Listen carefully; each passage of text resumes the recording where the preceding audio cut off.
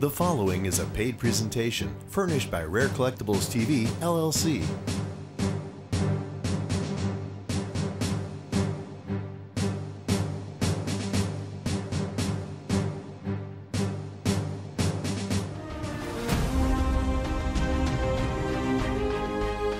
Rare Collectibles TV is proud to announce that we will now be offering a vast array of military collectibles used during the most significant events in our country's history.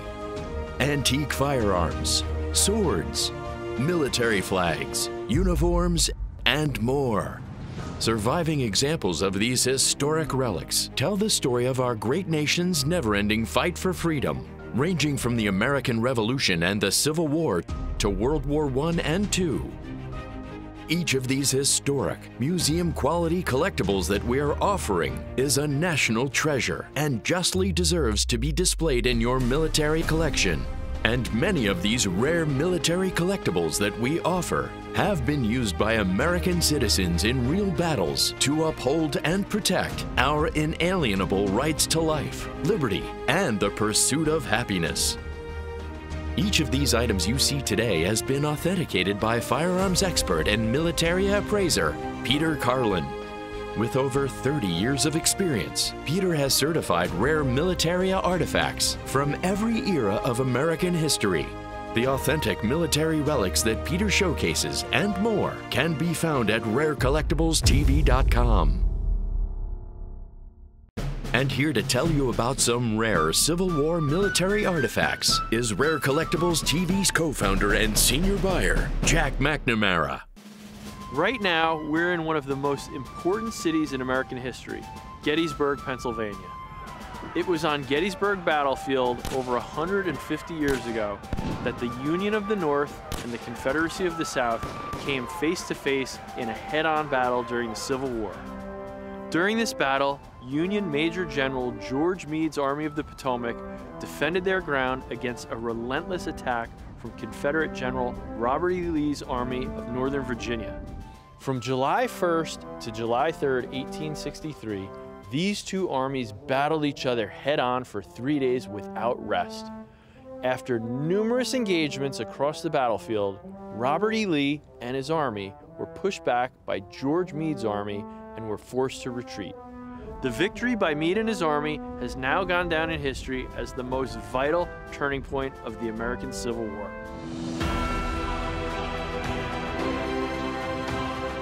Here in Gettysburg, we've uncovered a vast hoard of American military swords. Some of these were used on the actual battlefields of the Civil War, and some of these are even earlier.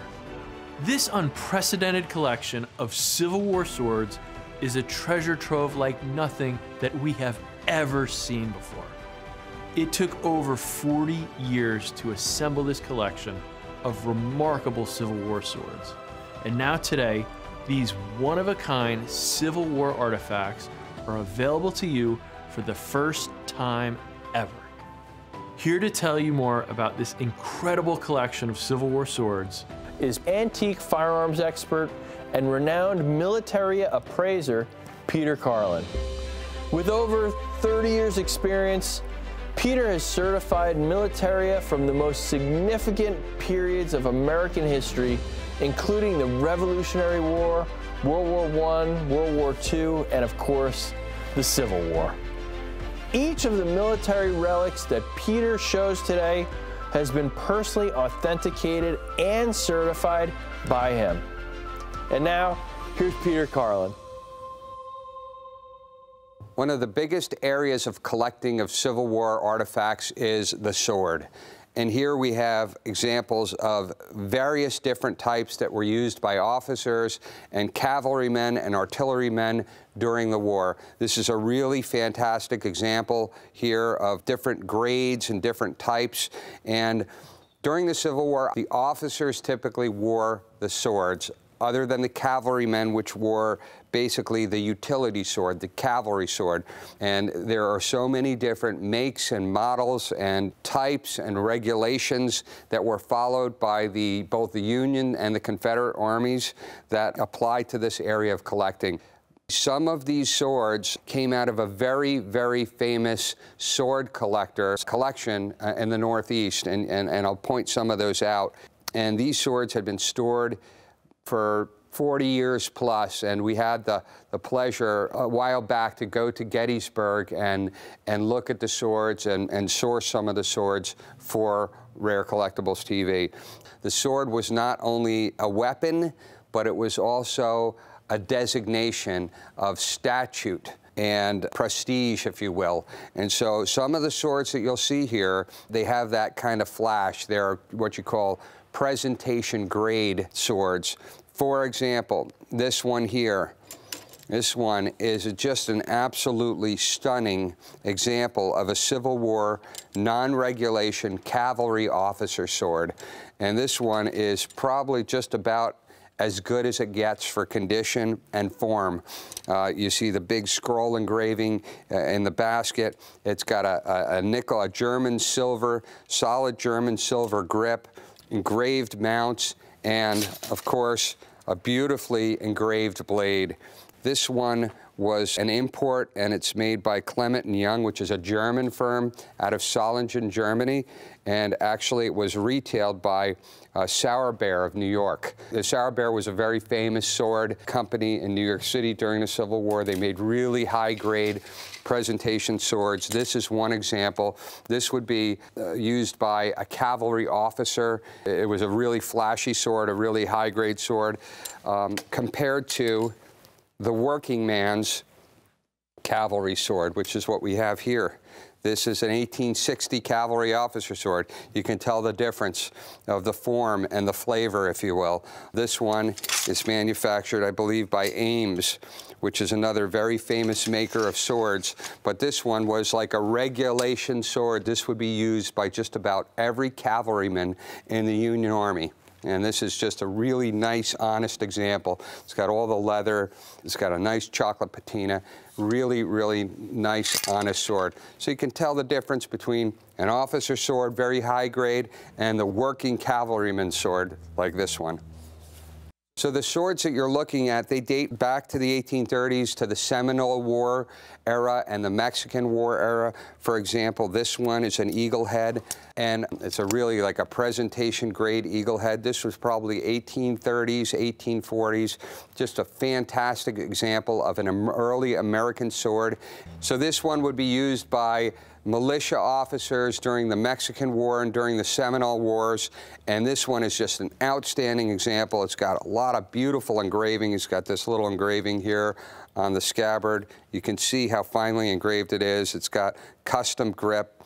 The feathers on the head are just outstanding in every way. It's got all of the fire gilding on it. It's got this outstanding blue panel blade that you see, and it's really hard to find a blade in this condition from this era.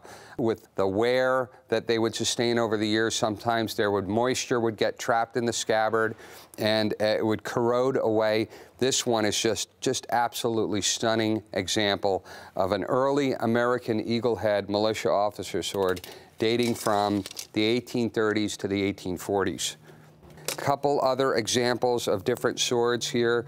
There's some of my favorites. This one is probably my favorite on the table. And this one likely was uh, retailed by a firm in New York called Ball and Black Company. And this one is just unbelievable in its form. Look at the hilt on that sword. It has this beautiful Medusa head on the hilt, as you can see. It's got this quillion of a lion head, and it's just got what we call the high art form of the American sword. Beautiful fire gilded on the hilt. The grip is in great shape. The scabbard has some commensurate wear. It's got nice engraving on the mount, and obviously it's got a really beautifully engraved blade with a panoply of arms with the American eagle, E pluribus unum, and just all the military motif that you want to see on a really beautifully engraved American sword.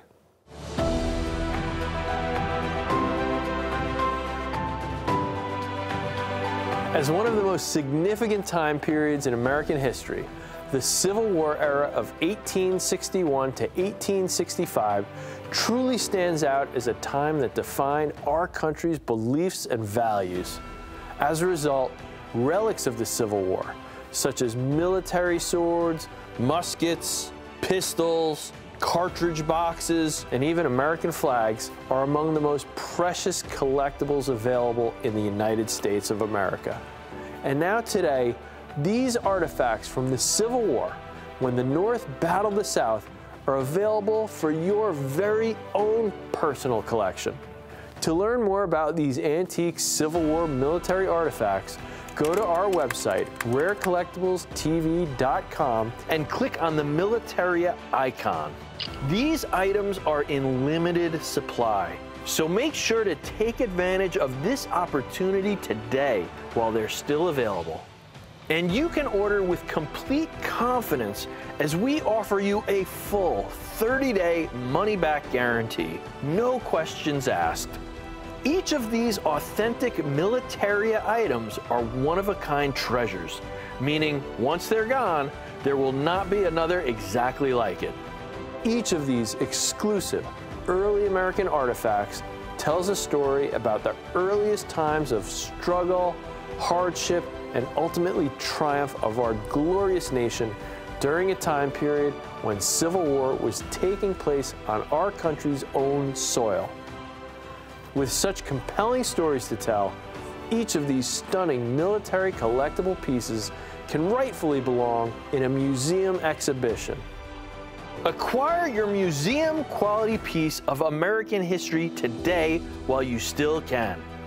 To view our full selection of authentic antique military artifacts, go to our website, rarecollectiblestv.com, and click on the Militaria icon. That's rarecollectiblestv.com.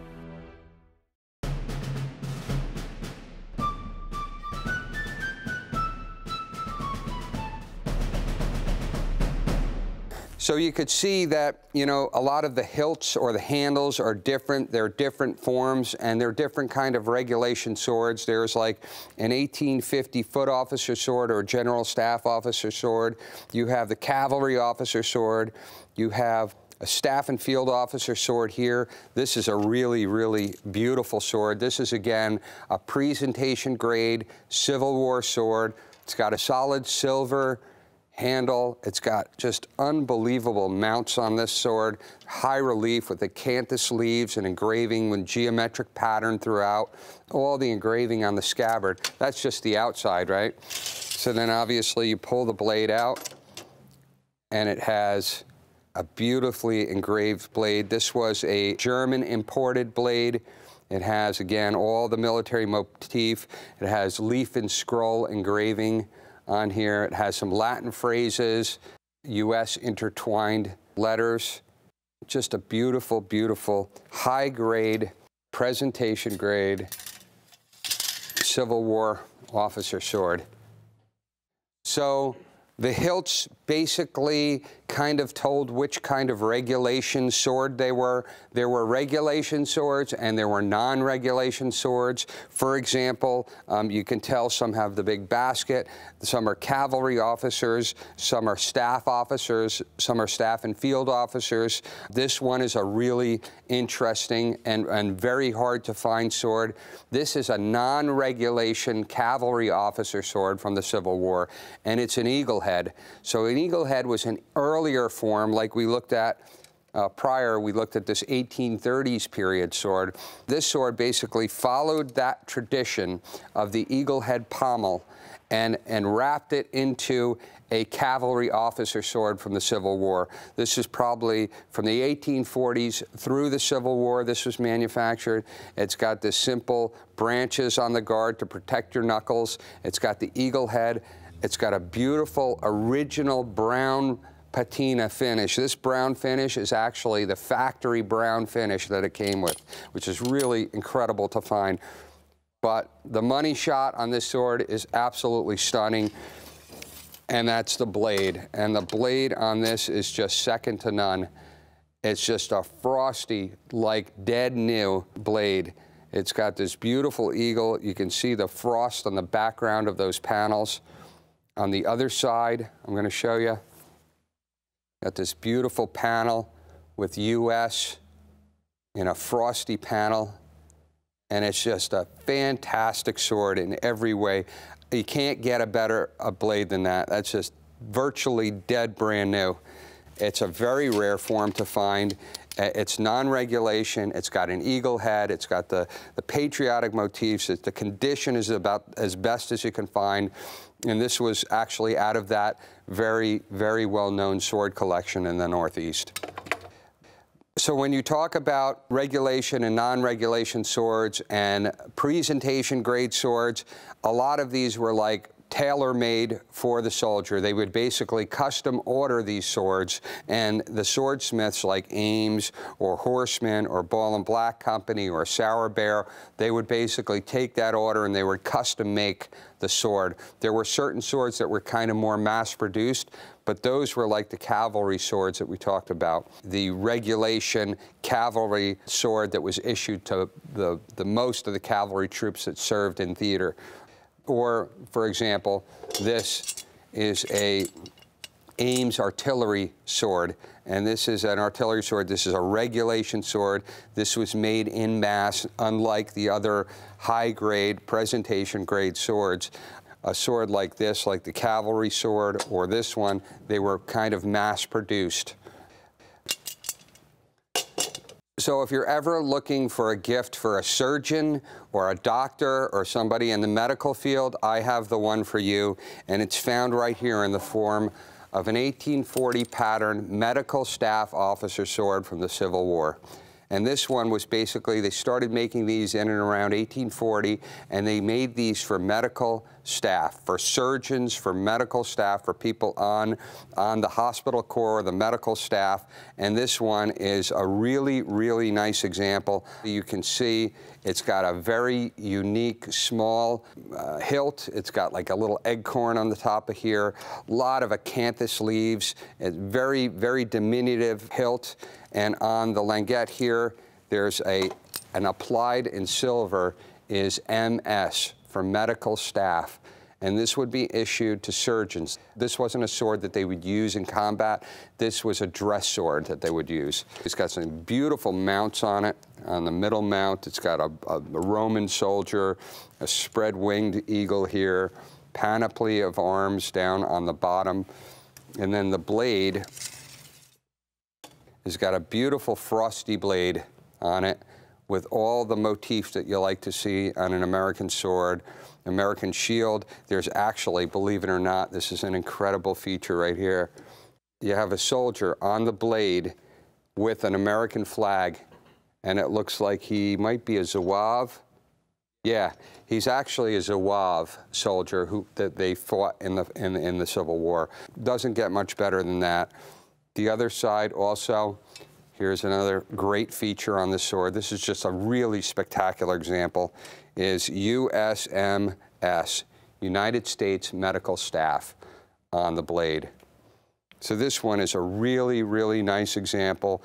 They started making them in the 1840s, and medical staff were issued these. Sometimes they would be private purchased, but this is just a really kind of nice, rare medical staff officer sword from the Civil War. A lot of these swords, especially the presentation grade ones and the non-regulation swords are one of a kind. They're the only ones that we have like that. They're on the website to buy and to purchase. If you see something here that you like, don't hesitate. Please go on. This is just a small sampling of what we have on the website. So go to Rare Collectibles TV and enjoy your shopping experience.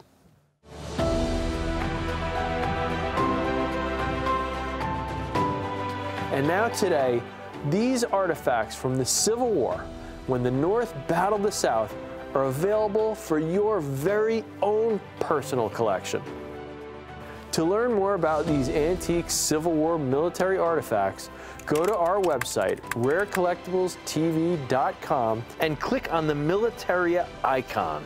These items are in limited supply, so make sure to take advantage of this opportunity today while they're still available.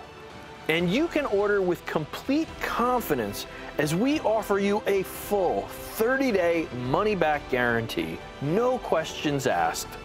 Each of these authentic Militaria items are one-of-a-kind treasures, meaning once they're gone, there will not be another exactly like it. To view our full selection of authentic antique military artifacts, go to our website, rarecollectiblestv.com, and click on the Militaria icon. That's rarecollectiblestv.com. And here to tell you more about the exclusive artifacts of the Civil War is antique firearms expert and renowned Militaria appraiser, Peter Karlan. Another preferred weapon during the Civil War that you'll see images of all the time is the fighting knife or the Bowie knife. And these were knives that they would carry into combat. It would be a backup weapon in close quarters combat. It would be something to use in camp to cut wood or brush or, or, or, serve as a utility tool. And we do have some examples here on the table. There's a really nice one here that I like. It's kind of one of my favorite. And this one is a Bowie knife. It's probably made between 1840 through the Civil War, this example. The, a lot of them were made in England. They're, they're called Sheffield Bowie knives. They were make, made in Sheffield, England, because that was like the hub of the Bowie knife and the knife making guild in England at the time. There was a big market for these in America and elsewhere throughout the world. And this one is a really nice example. It's got the original scabbard, and believe it or not, this, this actually is called a frog. It's got the original frog, um, which is really hard to find. And this is just a nice, a nice size Bowie knife. Just imagine I mean, just imagine this coming at you in the heat of combat. This one was actually made by Unwin and Rodgers in Sheffield, England, and this is a nice example. It's got a really thick, thick spine. It's got great balance, it's got a stag grip. It's got this beautiful cross guard. and this is an example of one of the Bowie knives that would be carried in the Civil War by either the Union or the Confederates. Another form of Bowie knife or fighting knife that uh, was used in the Civil War, I'm going to grab these two right here, is what's called a cutlery handle Bowie knife. And this is an example of a Bowie knife or a dirk. Sometimes they're, they're a fighting dirk that were used during the Civil War. This one is actually a really nice example. It was basically kind of a silver cutlery handle that they made, has this beautiful original scabbard. The scabbards are hard to find with the Bowie knives because they were sometimes made of like pasteboard. They would fall apart in the elements and they would just be lost to history. This one is all complete. The nice thing about this one is the blade. The blade is spectacular on that. It's found in, in the original polish, and it's just a really nice, honest example. The scabbard actually did the job protecting the blade throughout all those years. This was probably manufactured in the 1850s or so, because that's when a lot of the cutlery handle Bowie knives were made, or the Bowie dirks. This one is a really nice example. It has a, a Sheffield maker on the blade. It's in great shape. It comes originally with the, the original scabbard, and it's just a really kind of an attractive little fighting knife. And this would probably be used more by an officer than a fighting man, if you will. The other one that I picked up here that's kind of really interesting, I looked at this one when I first got it and I said, hmm, this is a German sword. It's made of a German hilt, right? But the date on it, on the blade, 1859. And this is what they call a scorpion tip blade. Okay, look, you see the form of that blade. They call it a scorpion tip on that blade. This is a fighting knife. This was used for fighting. This is a combat knife. It was manufactured by E.S. Young, who was a, a, German sword maker in Solingen, Germany in the mid-19th century. And this fighting knife is actually crafted from a full-length sword. So something happened to the sword, it, it, it broke. These swords were imported a lot during the Civil War, and if there was damage sustained, they would take it, they would repurpose it, and that's exactly what we have here. We have a repurposed sword that was remade into a fighting knife for the Civil War, and it's just got a great feel. It means a lot of business. It's got this improvised S-guard to, to, to cover your knuckles, and it actually has a nice original leather sheath with a belt loop on it. And so this one came in another collection that we found, and this is a Civil War era fighting knife, could have been used by the North or the South. So the artillery played a major part in the Civil War. During the Battle of Gettysburg, it was the largest artillery fire in the Western Hemisphere to date, and there was a, a giant artillery barrage or a salvo that happened in Gettysburg. Artillery men were fierce fighters, they meant business, and over here is a really interesting and highly sought after rig, what we call, for a artillerymen during the Civil War and pre-Civil War. These actually date to about the 1840s, but they were still used during uh, the Civil War. And this is a heavy artillery sword. It kind of is reminiscent of a gladiator sword. If you look at the hilt, it's got the scales on the hilt, it's got the eagle there, and it's got this massive blade and this would be used for defense, for uh, as a weapon, but also for clearing brush, for artillery emplacements, for mortar emplacements, stuff like that. But this is, uh, it's dated 1843, which is kind of like Mexican War period. So these were used, you know, from the Mexican War all the way through the Civil War. This one is just an absolutely fantastic example. The blade is in great shape. It's not beat to death. It's got a lot of, a lot of shine to it. It does have some wear. This one actually was made, if you look here, it was made by N.P. Ames, who was the maker of swords that people like to collect. And this one, the interesting thing about this one is it has, it has the scabbard, and it has this beautiful buff leather interlocking belt, U.S. belt and plate. So here you go. You have this U.S. belt, and this would be worn around the waist of an artillery gunner during the Civil War. This one is in just absolutely really nice shape. These are hard to find. They're very sought after. People love these and they're examples of their artillery gear. And this is just a really, really spectacular example that's available right now at Rare Collectibles TV. To learn more about these antique Civil War military artifacts, go to our website, rarecollectiblestv.com, and click on the Militaria icon. These items are in limited supply, so make sure to take advantage of this opportunity today while they're still available. And you can order with complete confidence as we offer you a full 30 day money back guarantee. No questions asked. Each of these authentic Militaria items are one-of-a-kind treasures, meaning once they're gone, there will not be another exactly like it. Acquire your museum quality piece of American history today while you still can. To view our full selection of authentic antique military artifacts, go to our website, rarecollectiblestv.com, and click on the Militaria icon. That's rarecollectiblestv.com.